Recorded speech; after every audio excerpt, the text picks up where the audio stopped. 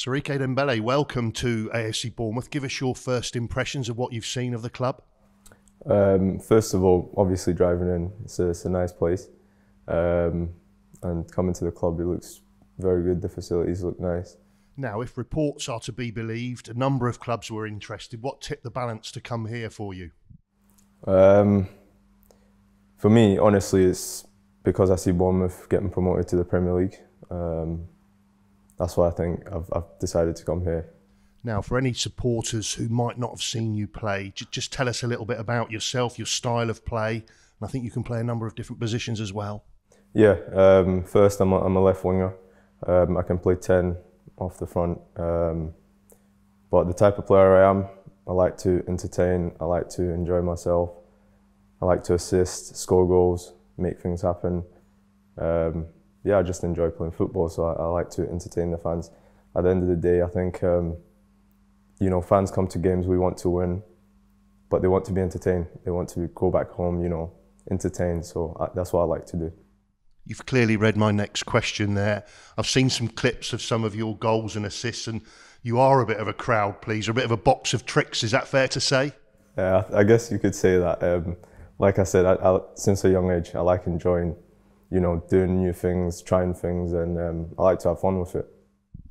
Now, you played against the Cherries in a nil-nil draw in September. What did you make of Scott Parker's team on that day? If I'm honest, I like the way they, they played football. Um, I think they've got um, a, a, good style of play, um, which is also one of the main reasons why I wanted to come here. Um, the style of football, I think it suits to how I play played under some good managers already. How much are you looking forward to working with Scott Parker and his team? Yeah, I'm looking forward to it. He's a young manager. Um, you know, he's got his team playing the right way, which I which I like. Um, and yeah, he seems like a good guy as well, which which is which is nice. Now, again, if reports are to be believed, you were linked with Fulham when Scott was was the manager there. It must be great for you to have a manager who clearly wants to work with you. No, hundred um, percent. I just met him just there. Um, really nice guy, and um, yeah, th- there's nowhere better to go than where you're wanted. Um, so I think that's important. You played in League Two and you've played in League One. You were promoted out of League One last season with Peterborough.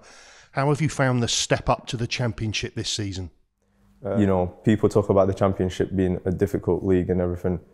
On a personal note, um, that's not the way I see it. I think it's um, maybe the Premier League is is the step where it's a bit um, different. You'll see the real difference. I think the, the Championship is, I think it's um, not as hard as people make it um, seem out to be. This is on a personal note. Um, I think it's, it's, it's a good league though, and um, having a very good team. I think you know it could it could be very good. What would you say the main differences are between League One and the Championship for an attacking player? I think chances created. Maybe you you have more chances created. Um, but that also depends on the team um, you're playing with. Uh, several teams, you know, still create a lot of uh, chances in the in the championship. I don't see too much of a difference, if I'm honest, uh, from League One in, in the championship. Um, the teams are better in the in the championship, have more money, but I don't see the, the difference too much in terms of football. I think it's probably fair to say that in your career you haven't had anything handed to you on a plate. I know you were born on Ivory Coast and your Wikipedia profile says you relocated with your family to London in search of better footballing opportunities in 2004. Is that right? And just tell us about that. Um, so my family moved from Ivory Coast to London, not for footballing reason at all. This this was just my parents' um, decision, not mine. And then um, we moved to, to Glasgow, and we've been living in Glasgow ever since and that's obviously where the, the, the, football, the formative years you spent with Dundee United and Ayr United. Just tell us a little bit about how you got into that. Yeah, so I was at Dundee United um, youth team from I don't know if it was under tens to what it was. Um, I was I, I, was at Ayr for a little um, time, but it wasn't I wasn't at Ayr like that. Um, and yeah, found myself at Nike and then Grimsby, and here we are today.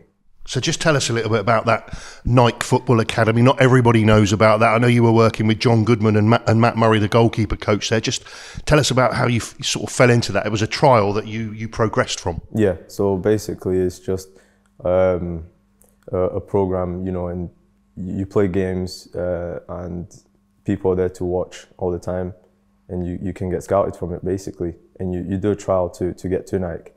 Um, so I went to that and stayed for, for a year.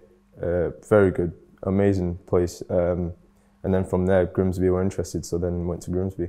And Matty Cash is an old boy of the Nike Academy as well, another player plying his trade in the Premier League. So it just shows you that, that you can step make that step. Of course, um, there's different ways to, to to play first team football. Um, not everyone's path is the same. I, I, I, mean, there'll be some players that play for Premier League clubs at academy level, but they don't end up playing for that um, Premier League club. So it doesn't matter really how you do it, um, as long as you do it. So everyone's got their own path. You had your first season in the league in League Two with Grimsby now for the sort of player you are, that must have been some apprenticeship coming up against some of these giant defenders. I've seen one of your cheeky goal celebrations in a video. How did you go down in League Two? Um, I can't lie to you. League Two was it was good, but it was difficult uh, in terms of, like you said, the way I play. So yeah, and there's not much football going on there, so it was it was difficult, but yeah.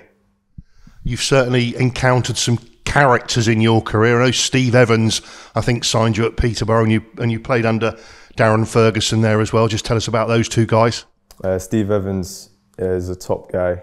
Um, on a human level, um, what what a, what a guy he is. I know, um, you know, he can be a bit crazy, but he's he's, he's a top guy, um, and he was the one that brought me um, to Peterborough.